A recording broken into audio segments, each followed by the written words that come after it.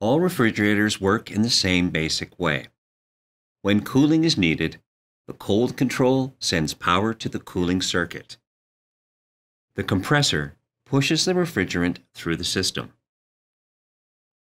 In the freezer, heat is extracted by the evaporator coils and is released through the condenser coils behind the refrigerator.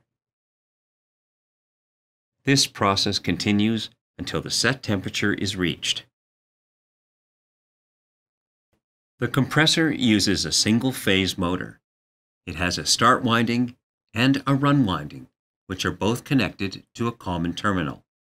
Attached is an overload protector that disconnects power if the current or temperature gets too high. Single phase motors use resistance or a capacitor to create a phase shift in the start winding. This rotating magnetic field creates the torque needed to start the motor. Many refrigerators use a relay with a PTC thermistor. This heat sensitive resistor acts like a switch.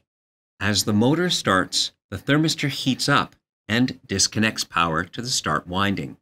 This prevents it from overheating. Other models also use a run capacitor to help increase the efficiency.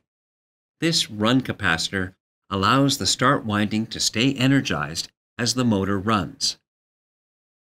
Older fridges might use a start capacitor, which is taken out of the circuit by the relay shortly after startup. Keep in mind that these are the most common components, but there are other setups as well. This includes current sensing relays or combination relays and kits. Regardless of the model, a faulty motor winding, a bad overload, relay, or capacitor can all prevent the compressor from starting. Now, if you want a complete guide on how to test all the start components, then you can watch our compressor troubleshooting guide. The video is linked in the description below.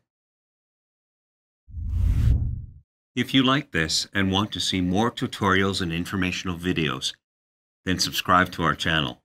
And if you need help, you can call or visit an AMRE location to talk with our knowledgeable staff.